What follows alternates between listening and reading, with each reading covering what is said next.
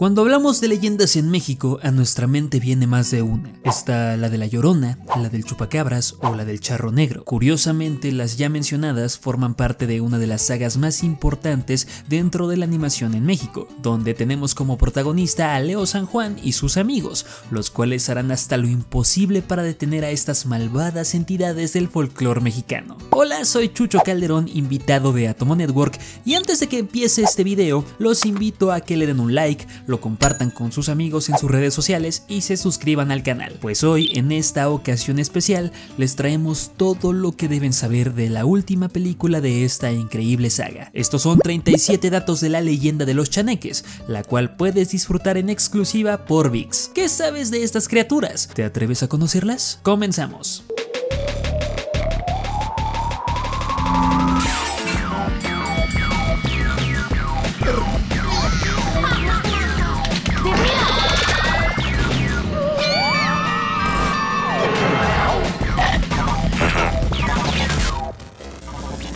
La leyenda de los chaneques es la séptima entrega de la saga de las leyendas y es continuación de La leyenda del charro negro, la cual se estrenó en 2018. En esta última, Leo pierde el poder de ver a sus amigos fantasmas, lo cual nos deja con muchas dudas que probablemente se resuelvan en esta nueva película. 2. La leyenda de los chaneques originalmente estaba planeada para ser estrenada a principios del 2021, pero la pandemia de COVID-19 detuvo la producción por más de año y medio. 3. Esta nueva película cuenta con una nueva dirección a cargo de Marvick Núñez, quien anteriormente dirigió la primera película de superhéroes mexicanos, La Liga de los Cinco. 4. Los actores de voz que le dan vida a los personajes de las leyendas tienen mucha experiencia con ellos. Benny Emanuel, Leo, desde La Leyenda de las Momias, Emilio Treviño, Nando, desde La Leyenda del Chupacabras, Andrés Couturier, Don Andrés, desde La Leyenda de la Llorona, Annie Rojas, Xochitl y Eduardo España. Evaristo, desde La Leyenda de las Momias, siendo Maite Cordeiro la que más películas lleva interpretando la voz de su personaje.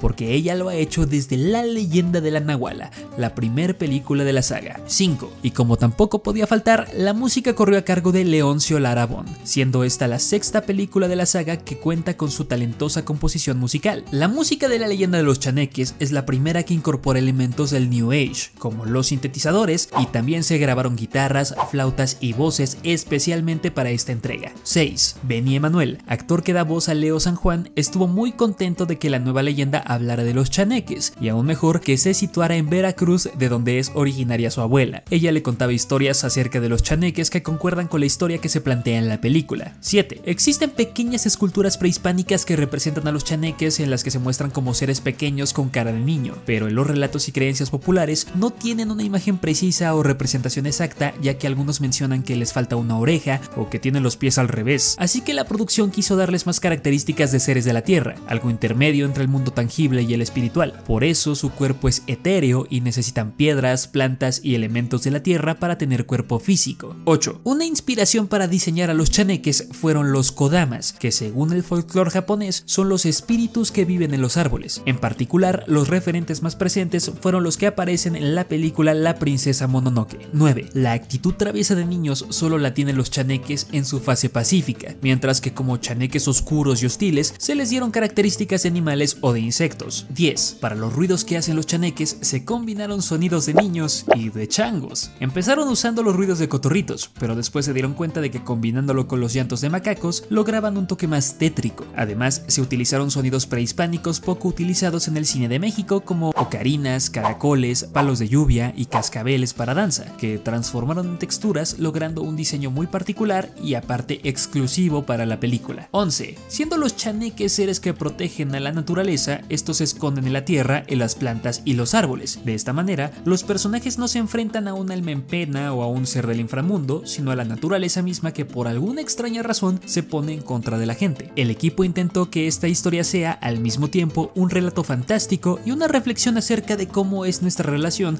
con el medio ambiente. 12. La niebla que aparece durante la película se comporta como un fenómeno que anuncia la llegada de los chaneques porque a la gente le gusta darle tintes sobrenaturales a cada fenómeno climatológico natural cuando, por ejemplo, el viento cierra las puertas de las habitaciones o parece que los árboles aullan con los ventarrones. Son acciones perfectamente normales y justificables, pero uno no puede evitar darle connotaciones fantasmales o sobrenaturales. 13. La historia se desarrolla en un pueblo pequeño de Veracruz, en algún punto de la Sierra Madre Oriental. El equipo no estableció un lugar preciso, porque se quiso dejar abierto a cualquier paraje de la bella Huasteca Potosina, ya que todos sus alrededores tienen la riqueza natural que querían para situarla. 14. Durante los créditos de inicio, Leo encuentra un cofre con diversos artículos referentes a la navegación que pertenecían a su padre. Al quedar sin la posibilidad de ver a sus amigos fantasmas después del encuentro con el charro negro, Leo necesita buscar su lugar en el mundo y saciar su espíritu aventurero. Por esa razón, decide que debe llegar al puerto de Veracruz y tomar un barco. 15. Durante el desarrollo del guion, el escritor David, Davichón para los compas Hernández, propuso que para esta entrega hubieran transcurrido muchos años desde la aventura con el charro negro, presentando a un Leo mucho más cambiado y que no fuera un adolescente, sino un adulto. 16. Diego, el pequeño niño que busca la ayuda de Leo inando San Juan para rescatar a su padre de las garras de los chaneques, tiene 8 años de edad, justo la edad que tenía Leo en la leyenda de la Nahuala. Esto es importante porque en esta historia Leo necesita recordar quién era antes. 17. En los primeros tratamientos del guion se planteaba que Diego usara una silla de ruedas, y aunque era una gran oportunidad para contar la historia de un niño con capacidades diferentes abriéndose paso en esta aventura, por cuestiones de logística para las locaciones que se utilizaron no fue posible seguir adelante con la idea. Por otra parte, en esa época las sillas de ruedas eran demasiado limitadas en sus funciones. 18. Durante la cena en casa de Diego, este enciende un quinqué con un objeto muy extraño para la época, un encendedor. En aquella época era muy extraño tener un instrumento así, ya que de hecho, el primer mechero registrado en la historia es invención de un aprendiz de boticario alemán llamado Johann Wolfgang Dureiner en 1823, y esta historia sucede casi 10 años antes de eso. Por esa razón, Nando lo pide con tanto asombro. 19. Al inicio de la película, Leo está vestido de manera distinta porque ahora piensa que lo que sigue en su camino es viajar y cambiar. Trae puesto un saco de expedicionario que muy probablemente perteneció a su padre. 20. Una creencia acerca de los chaneques es que tienen el poder de robar la energía vital o tonali. Esto causa que la gente, aunque siga viva, ya no tenga la voluntad de vivir. Muchos curanderos practican diversos rituales para ayudar a recuperar tal energía, y en el caso de haber sido causa de chaneques, es fundamental enmendar la ofensa que se pueda haber causado contra ellos, ya sea por haberse metido en alguna laguna sagrada o en territorio protegido por ellos. 21. La creencia popular es que hay chaneques blancos que son buenos y chaneques negros, que son malos y atacan a la gente. En esta historia los chaneques atrapan a la gente y les roban el tonaji, lo tanto son chaneques negros. 22. Los chaneques que vemos a lo largo de la película lucen como seres oscuros que no soportan la luz del sol. Esto es porque han perdido su esencia de guardianes de la naturaleza. De la misma forma, Leo ha perdido su esencia de héroe. Creemos que todos los eventos que sucederán en la historia son con el objetivo de que ambos puedan recobrar su esencia. 23. Uno de los animales disecados en la casa del brujo es un zaraguato, o mejor conocido como mono aullador. Ellos abundan en el oriente de México. Su rugido inunda los atardeceres de las selvas como si se tratara de animales fieros y de gran tamaño, cuando en realidad son pequeños monos. 24. La casa del brujo fue construida a un costado de la montaña y tiene en su interior un viejo y enorme árbol, esto con el propósito de situar al brujo en un lugar conectado a la naturaleza desde su interior, y el muro de piedra, que es una especie de altar ceremonial muy antiguo utilizado para rituales prehispánicos. Al igual que las pirámides y templos, no es casualidad la orientación y punto geográfico en el que el brujo ha establecido su jacal. Es un lugar que tiene una carga energética muy especial y que se nutre de antiguos espíritus de la tierra y del inframundo. 25. El nudo que Diego le enseña a hacer a Nando se llama ballestrinque y es un nudo sumamente simple utilizado en la náutica. En realidad no hay otro motivo para haber elegido ese nudo más que por su peculiar nombre. 26. La pirámide de Tezcatlipoca es ficticia y está inspirada en las ruinas de Quiahuixtlán en Veracruz, pero con la escala de la pirámide de los nichos en el Tajín. Originalmente la idea era cubrir las ruinas con mucha más vegetación de la selva, que es como los arqueólogos descubren dichos templos, pero se optó por dejarla mucho más descubierta para evitar similitudes con el templo de los chaneques, el cual sí debía estar mucho más ligado a la naturaleza. 27. El templo de los chaneques también es ficticio y la idea es que existiera en medio de una laguna seca que misteriosamente siempre está cubierta por niebla. El diseño es mucho más redondo y orgánico que las edificaciones mesoamericanas porque la idea es que parezca que lo construyó una civilización más antigua que cualquier otra en la región. 28. La fachada del templo de los chaneques está rodeada por máscaras gigantes que pertenecen a los antiguos guardianes del templo, mismos que representan a cada elemento de la naturaleza. 30. Los chaneques tienen la cualidad de poder mezclarse entre ellos y fusionarse con los árboles y el suelo, haciendo que sus brazos parezcan raíces o ramas. No queremos saber qué pasaría si se juntaran todos los chaneques, aunque nos podemos dar una idea viendo el póster de la película. 30. El diseño del templo de los chaneques puede que tenga reminiscencia alienígena tanto en sus pasillos como en sus grabados en pisos y columnas.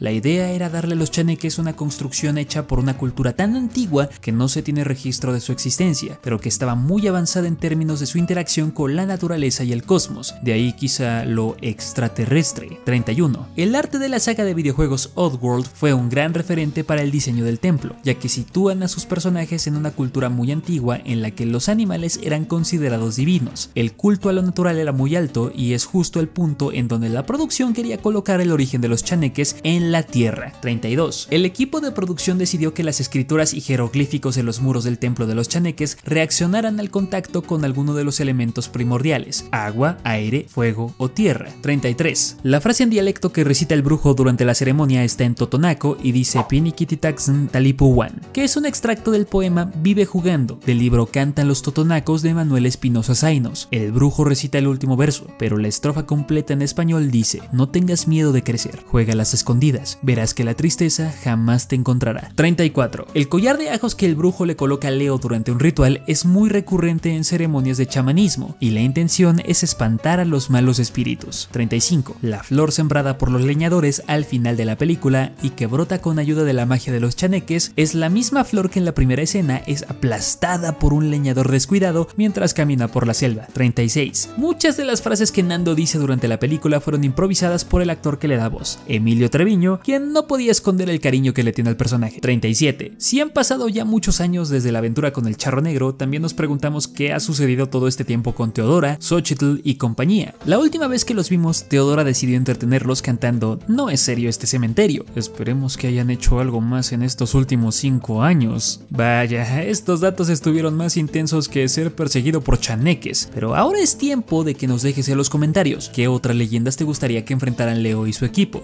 ¿Cuántas veces has visto toda la saga? Haznoslo saber en la caja de comentarios y no te olvides de dejar un gran like, suscribirte al canal y darle con todo y bien duro a la campanita que bien que se lo merece. Yo fui Chucho, invitado de Atomo Network y recuerda que puedes ver esta nueva aventura de Leo y Nando en VIX. ¡Hasta la próxima!